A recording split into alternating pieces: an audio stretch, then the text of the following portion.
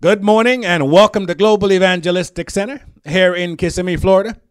In your Bibles, the book of John, chapter 2, verses 18 to 22. John chapter 2, verses 18 to 22.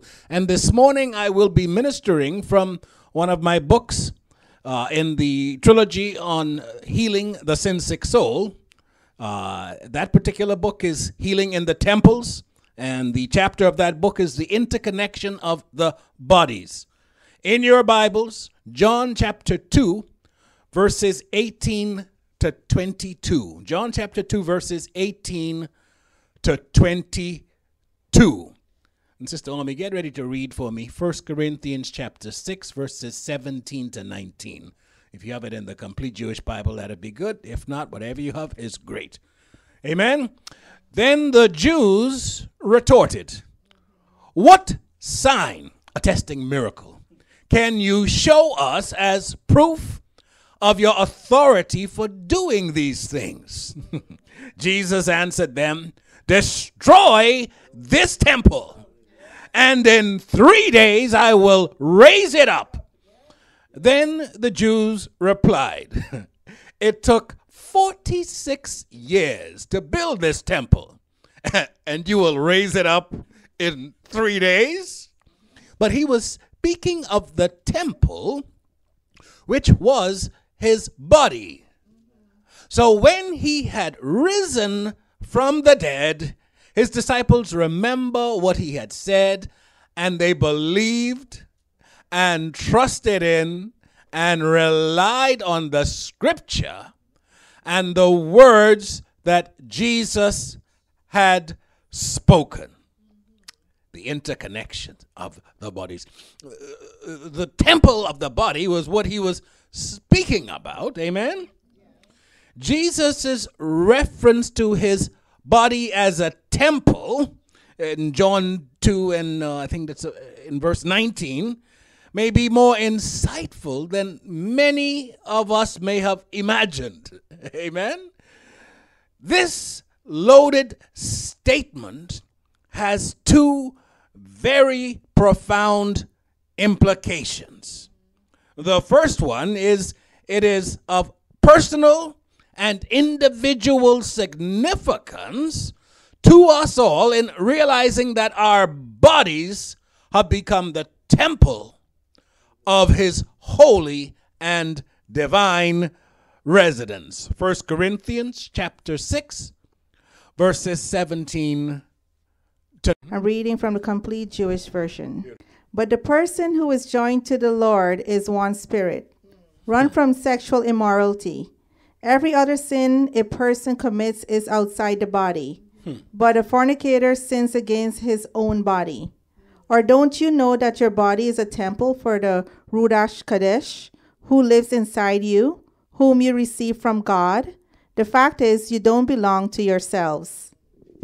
So if our bodies are a temple for the Ruach HaKodesh, it means that when we go and we join our bodies with other people other than our wives, then we are outside of God's will and we are developing what they call soul ties. Amen?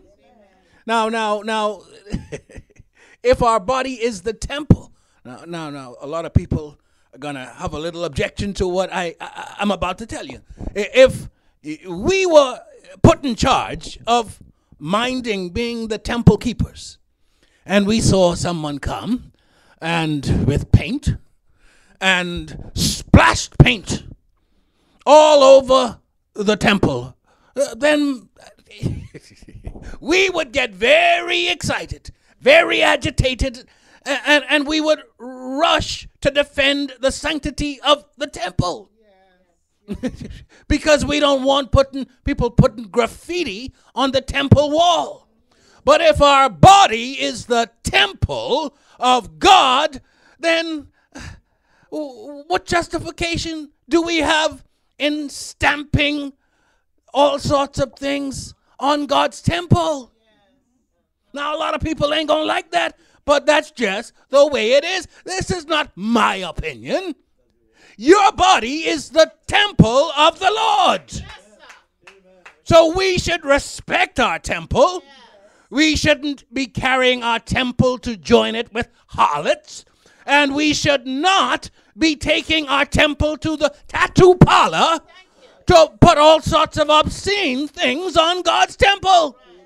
You were not your own because you were bought with a price. I don't care if you go and stamp I love Jesus on your body, you are still desecrating God's temple.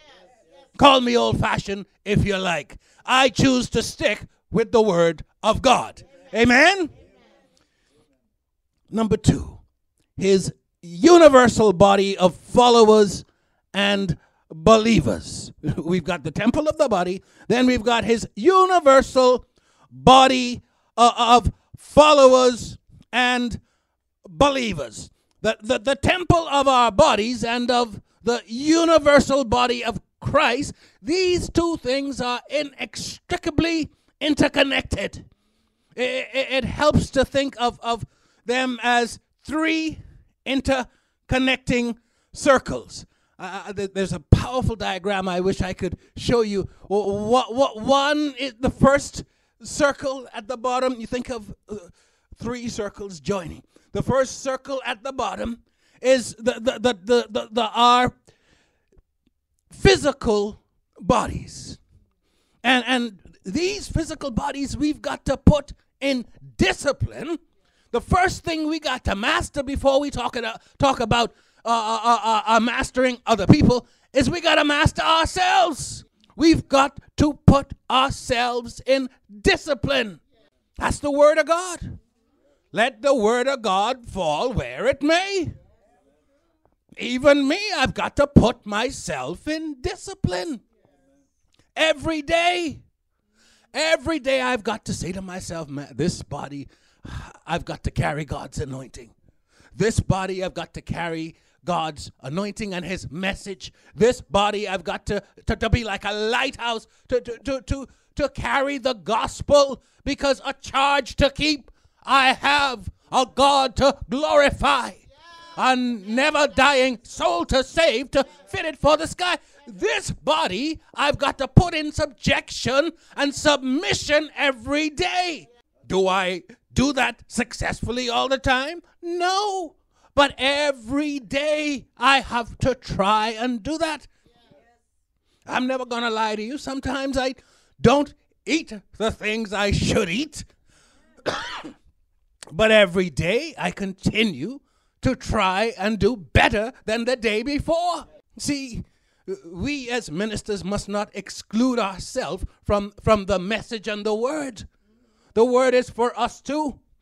Pastor has to continuously put himself in submission and subjection because of divine purpose and because of divine calling. Because w- when I follow Christ, you should follow me. I don't look for people to worship me. Worship Jesus, but I've got to be a messenger of God. I've got to be a light of God. I've got to be an example for the king because I am an ambassador of the king. So once we, we, we get ourselves in submission, once we get our, our bodies in submission, then we go into the next thing, which is the spirit of man, the spiritual realm. That's the next circle. The spiritual realm is where the, the gifts and the callings of God come upon us because we are walking then uh, uh, away from the flesh and we are walking in the spirit because the body of Christ is a spiritual body. But we can't get to effectively being the body of Christ if we can't master our own physical bodies. Our physical bodies must be under subjection, must be under submission, must be living in righteousness and holiness. And then once we've mastered ourselves, we can move into being an effective corporate body. And that's where the gifts and the callings and the anointing of God comes upon the body of Christ. The spirit of man the spirit realm. We've got to go from the physical, carnal Christians, to the spiritual, because we are in the end time saints of God. For the last three days, God had me focused on global issues. But the problem with the blood bought Church of God is it cannot address global issues because it's stuck in the element of the desire for cheerleading. And too often, when it's intercession time, it's like a grocery list, a grocery list of needs. God is tired of you just bringing, God, what here's what I need you to do. When are we going to mature to the point and to the level to where God says, This is what I need you to do? I need you to step up into maturity, put on the whole armor of God, and get ready to address global issues. But we can't get to that because we're stuck in the cribbery. God is tired of baby Christians that only want to feed on milk. Yes, this is my Bible, but I've got to take it beyond just reading it. I've got to take it to the element of applying it and living victoriously so I can move into the element of the spiritual dynamic of God and become the body of Christ that Christ so longs for and desires. You see, we go from the physical to the spiritual to becoming the members of the body of Christ where Christ can use us. Oh, praise God. The interconnection of the body and spirit, the, the, the, the Trinitarian composition of the body of Christ. Ephesians chapter 2, verses 19 to 22. Papa, get ready to read that for me. Ephesians chapter 2, verses 19 to 22. You see, the, the universal body of Christ, it has a Trinitarian reality and construction in, in very much the, the, the same way that our natural bodies do. We have physical bodies, and the physical body, representation of the temple of Christ here on earth, is us, his church. Ephesians chapter 2, verses 19 to 22. Ephesians chapter 2, verses 19 to 22. Consequently, you are no longer foreigners and aliens, but fellow citizens with God's people and members of God's household, built on the foundation of the apostles and prophets, with Christ Jesus himself as the chief cornerstone.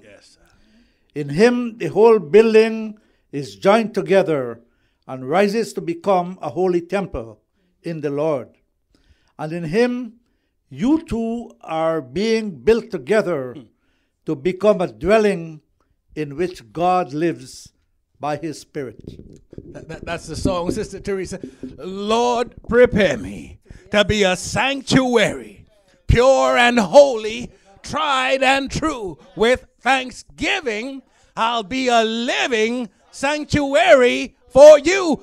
God wants his temple multiplied here on earth so that the kingdom can come and his will can be done. Oh, hallelujah. God is looking for ch- Christians that will walk in spiritual maturity and that He can use in these end times to do great exploits. Oh, hallelujah. The, the, the spirit within us is represented in the church by the, the, the seven churches in, in, in Revelation, chapters 2 and 3, that, that, that reflect the spiritual and the emotional state of the body of Christ.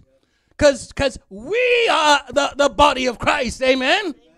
We, we, we say it in communion. We are the body of Christ by the one Holy Spirit. We were all baptized into the newness of life. Amen. We are the body of Christ.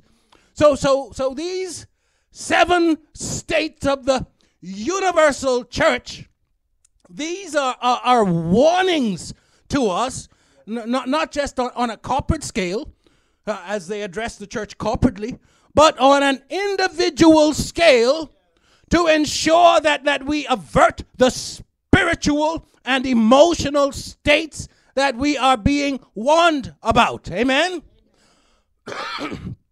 the first one, Ephesus. Revelation chapter 2. Mama, get ready to read that for me. Revelation chapter 2, verses 1 to 7, and, and then stay there because there's a couple more in, in Revelation that I, I, want you to read. The, the, the first church, Ephesus. What, what, was it famous for? This was the church that had forsaken its first love. The church that had forsaken its first love, even in the natural. Sometimes we got to sing the song, Remind Me, roll back the curtain of memory now and then. Show me where you brought me from and where I could have been.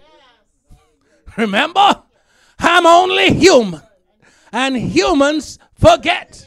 Oh, remind me, remind me, dear Lord. I just this morning, I was watching the news, and I saw the oldest couple around. They'd been married for 85 years. And they had a surprise for them waiting outside, both of them over 100 years old. And the surprise for them was the car 85 years ago that they went on their first date in. Hmm. And as old as they were, you could see the delight because the, the, the, the, the, the curtain of, of memory ha, ha, had been rolled back. And they remembered what it was like to, to be in love, which they never lost because they, they, they knew the art of communication, which the lady said. But they had a flashback Sometimes you got to go back. Sometimes you got to go back when Christ first found you. All the zeal and all the excitement. When, when, when, you, when you felt like you could run, run, run, run, run, and when you could dance, dance, dance, dance, dance, and shout and sing all day and all night. When you didn't look at your watch oh, when it came time to serve God because you, you lose track of time because you're so much in love. Oh, we need to fall in love with God all over again. Oh, yes. says Revelation chapter 2, verses 1 to 7. To the, to the angels of the church of Ephesus, write. These things says he who holds the seven stars yes. in his right hand, who walks in the midst of the seven golden lampstands. I know your works, your labor, your patience, and that you cannot bear those who are evil, and you have tested those who say they are apostles and are not, and have found them liars, and you have perversed, no, persevere, and have patience, and have labored for my name's sake, and have not become weary. Nevertheless, I have this against you, that you have left your first love. My God. Remember, therefore, from whence you have fallen, repent and do the fire, first works, or else I will come to you quickly and remove your lampstand from its place, hmm. unless you repent. But this you, but this you have, that you hate the deeds of the Nicolaitans, which I also hate. He who hath an ear, let him hear what the Spirit says to the church. To him who overcomes, I will give to eat from the tree of life, which is in the midst of the paradise of God. Oh, hallelujah. Praise the Lord. Stay right there because I, I got another one for you to read. But the church that had forsaken its first love was Ephesus. It was a passionless church. How can you expect to have a love, someone that you love, and there's no passion in the love? It's the same thing with God. God is looking for believers that will have such a passion for Him we could pick apart theologically different cults and, various religious organizations. Some that ring our doorbell religiously on Sunday when they know that if you ain't a church, it means you ain't saved in most cases. We could pick apart different cults and different religions that pray every day at a certain hour. But before we get to that, we need to check ourselves. What have you done for me lately? That's what God wants to ask us. Where is your passion? Who have you brought to Christ recently? God is looking for people of passion. Oh, Jesus. The second one was Smyrna. Revelation 2, verses 8 to 11. Get ready to read that. This is the church that would suffer persecution. You see, we got to learn from this because anytime trials and challenges come, too easy we are des- desirous of giving up and turning back. But, but, but it makes no difference what evil befall. You got to know that God will take care of you. You, can walk through the fire, you can walk through the flood. You can walk through any trial, you can walk through any challenge, any adversity, but you can't let go. Oh, I'm climbing up on the rough side of the mountain, and I'm doing the best to make it in. Don't lose sight of the goal. Smyrna, physically and emotionally tormented. The church is physically and emotionally tormented.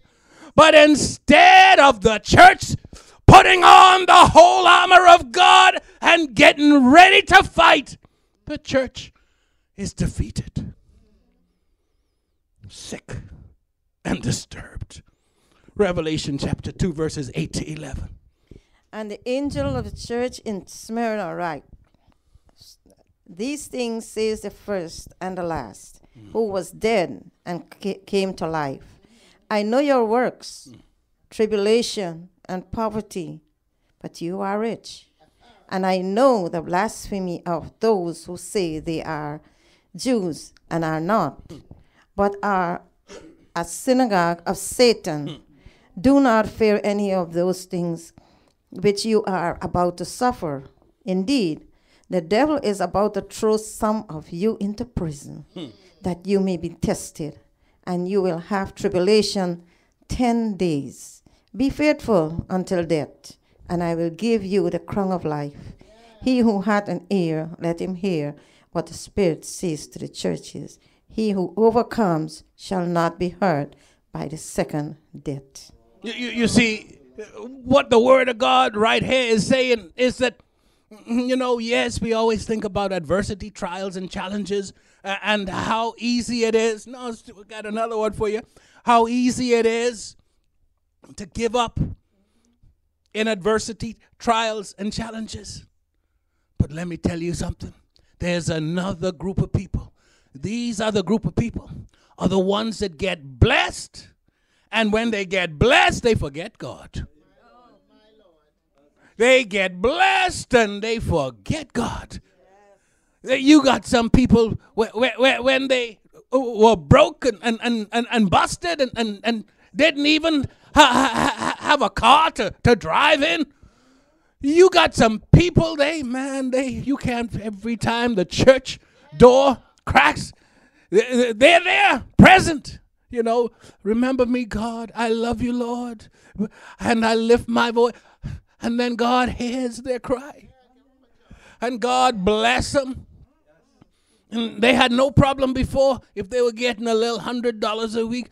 They had no problem before. 10% for God. And then God said, You've been faithful over little. I'm to make you rule over much. And God blessed them. Some situations, God will bless a business or a corporation that, that in the natural you can't understand why, why the, the, the corporation or business is even afloat.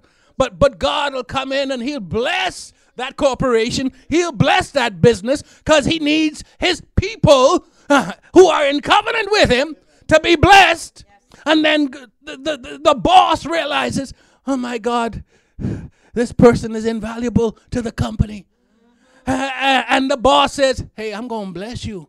I'm going to increase what you got in your hands. And then all of a person, the, all of a sudden, the person decides, well, now it was easy to give ten dollars because I was only making a hundred. Now I'm making a thousand. I tell you what, this is how we're gonna work this. I'm gonna throw it up in the air, and what comes back is mine. And God will take what He want out right out of the air. They come up with all sorts of foolish reasons why you should not pay your tithes. Malachi says that he will rebuke the devourer. You see, the devourer doesn't care what you have to say. Only thing the devourer is looking for is for legal permission when you step outside of God's purpose, when you step outside of God's cover. The devourer is looking for legal permission to come and steal your seed. Will a man rob God? Yet you have robbed me in your tithes and offerings. That's what keeps the blessing of God and the windows of God open over you. And then all of a sudden, the business stops doing well. And you say, God, but God, why? Why? because you stopped being faithful. God is a good God. And He has covenant. If you do your part, He will do His part. Amen. Be faithful to God and watch the blessings of God catch you, run you down, and overtake you. Mhm. What did we get to? Did we get to Pergamum? All right. Revelation chapter 2 verses 12 to 17. Pergamum. And to the angel of the church in Pergamos, write hmm. These things says he who has a sharp two edged sword. I know your works, and where you dwell, where Satan's throne is, and you hold fast my name, and did not deny my faith, even in the days in which Antipas was my faithful martyr, who was killed among you, where Satan dwells. But I have a few things against you, because you have the, you have there who hold the doctrine of Balaam, hmm. who taught Balak to put a stumbling block before the children of Israel, Hmm. to eat things sacrificed to idols, and to commit sexual immorality. Thus, you also have those who hold the doctrine of the Nic- Nicolaitans, which thing I hate. Repent, or else I will come to you quickly and will fight against them with the sword of my mouth. He who hath an ear, let him hear what the, church, the Spirit says to the churches. To him who overcomes, I will give some of the hidden manna to eat, and I will give him a white stone, and on the stone a new name written, which no one knows except him who receives it. So Praise so so this is really you can't walk by eyesight. Cuz in the natural this church looked like it had everything together. They had the the the, the praise team all in the same colors and and and they, they had it all down to a science three three fast and a slow and then the smoke would go out and the pastor would come in and God bless you all. And how's everybody this morning? everything seemed just so peachy fine, peachy fine. And they got rich and they were blessed and but uh, you can't judge people by sight. Because in this realm in this world we got to judge them by their spiritual covenant and relationship with God. These people they look good. They smell good. They had on all the nice clothes and, and they looked like church. They even had a big Jesus grin when you came in. Jesus. Hallelujah. They were in a backslidden condition. And they needed to repent. But they were so full of pride and so full, full of, of, of tradition and religious culture that they forgot that, that, that God is not as much interested with your t- tradition. He's not as much interested in your religious culture. He do- doesn't care what color the stained glass windows are. He, he, he's not as particularly concerned with what color the, the choirs wear. We have one for autumn, an outfit for autumn, and uh, an outfit for fall. No, no, God is not interested in all those trappings. Those are nice, mm, you know, in the right place, in the right time. God is interested in covenant. God is interested in relationship. God is interested in you getting back to where you started out from so he can move you without trickery. And he can move you by the power of the Holy Spirit. The church at Pergamum needed to repent because they were in a backslidden condition. The fourth church, Thyatira. Thyatira. Revelation chapter 2, verses 18 to 29. And to the angel of the church in Thyatira write, These things says the Son of God, who has eyes like a flame of fire, and his feet like fine brass. I know your works, hmm. love, service, faith, and your patience. And as for your works, the last are more than the first. Nevertheless, I have a few things against you, because you allow that woman, Jezebel, mm. who calls herself a prophetess, to teach and seduce my servants to commit sexual immorality and eat things sacrificed to idols. And I gave her time to repent of her sexual immorality, and she did not repent. Indeed, I will cast her into a sick bed, and those who commit adultery with her into great tribulation, unless they repent of their deeds. I will kill her children and death, and all the church with death, and all the churches shall know that I am he who searches the minds and hearts, and I will give to each one of you according to your works. Now to you I say, that the rest in Thyatira, as many as do not have those doctrine, who have not known the depths of Satan, as they say, I will put on you no other burden, but hold fast what you have till I come. And he who overcomes and keep my works until the end, to him I will give power over the nations. He shall rule them with a rod of iron. They shall be dashed into pieces like the potter's vessels. Also I I also have received from my Father, and I will give him the morning star. He who had an ear, let him hear what the Spirit says to the churches. Now, this one is a very dangerous. Thank you, Mom. This one is a very dangerous one. Because what does it have? A false prophet. Prophet is to be exact.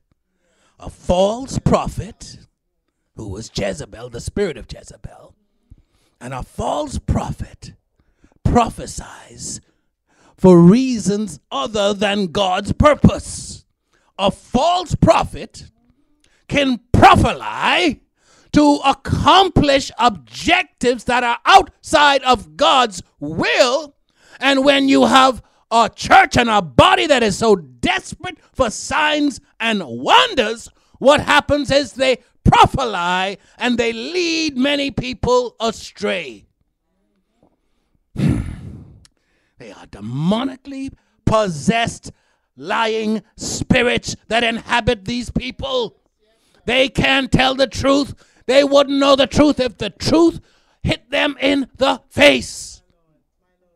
When you have leadership that justifies sexual immorality. When you have leadership that calls abusing little girls right, it's wrong in God's sight. And if the prophets of God do not stand up and rebuke wrong, rebuke pedophilia, then God is angry. I don't care who you are. When you call wrong right, you are demonically led by a lying spirit, and God is not pleased with you because you are leading many people astray. God is upset because the church is filled with false prophets. Right is right and wrong is wrong. It's not for us to twist the word of God to justify our political, even agendas. Right is right, and God is a God of righteousness. The word declares that righteousness and truth are the foundation of God's throne. Five, six, and seven. The church of Sardis. This church had fallen asleep. You can find it in Revelation chapter 3, verses 1 to 6. I'm mindful of the, time. This church had become lazy, lackadaisical, and apathetic. The kind of church where they see things going wrong, but you know, I'm, I'm just not going to say anything because a lot of people will get uncomfortable. So the church had become lazy. But God says either you're hot or you're cold. You can't be lukewarm. Because God declares that He will puke you out of His mouth if you are lukewarm. Where is your voice, prophets of God? Where is your voice to speak out and rebuke sin and call wrong wrong and to encourage right and call right right? God is not looking for puke leaders. God is looking for leaders that'll be on fire for Him and that are not afraid to stand up, that are not afraid to, to, to, to speak to authorities under the anointing of God and call wrong wrong and right right. The lazy, lackadaisical, apathetic church. Sardis. Then the church of Philadelphia. Revelation chapter 3, verses 7 to 13. This is the, the church that endured patiently.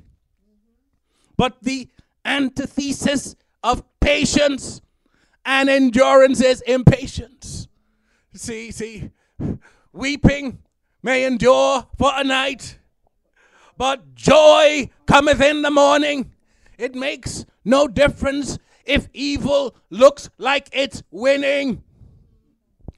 Joy cometh in the morning. I don't care what weeping we may have to endure.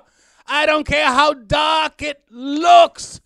Joy cometh in the morning. Fret not thyself of evil doers. For in due season they shall be cut off. So even if it's a busload of people going what seems to be a comfortable and luxurious way, but you know that way is wrong, stand still and wait to see the salvation of the Lord. And the final seventh church is in Revelation chapter 3, verses 14 to 22. The church of Laodicea, the church with lukewarm faith, uncommitted. You see, either you are part of the problem or you are part of the solution. And God wants his people to be on fire so that they can stand up in these times and say, Thus saith the Lord, and call right right and wrong wrong. Amen. The greatest reflection of the soul of man is the power and excess of his mind, which reflects his will, his emotions, and his intellect in the universal body of Christ. We have to have his mind available to us. 1 Corinthians 2 and 16. For who hath known the mind of the Lord, that he may instruct him? But we have the mind of Christ. Hmm, my God. I'm going to end right there this morning. Father, give us the mind of Christ so that we can be your church, God. God, so that we can be a church that, that is filled with passion for you. And a, a, a church that has not forgotten our first love. Father, give us give us a, a, passion for you that we will endure through through times of suffering, like the church of Smyrna. And God, where there is physical and emotional torment and, and sickness and disturbance, God, give us the, the power to first of all overcome it in our own body and then to be used by you to bring healing to our generation. God, where we are backslidden, heal us of our backs, the joy of our salvation. Heal our backsliding, God. And God, empower us to rebuke the demonic lying prophets. Only way we can do that is by knowing the truth. And Father, get us off our butts. Fire us up to be evangelists for you and to stop being lazy Christians with a lackadaisical attitude. Fire us up to not be apathetic to the issues of the world and of the state and of the city. Because, God, you want to use us as lighthouses. Oh, God, we thank you for that.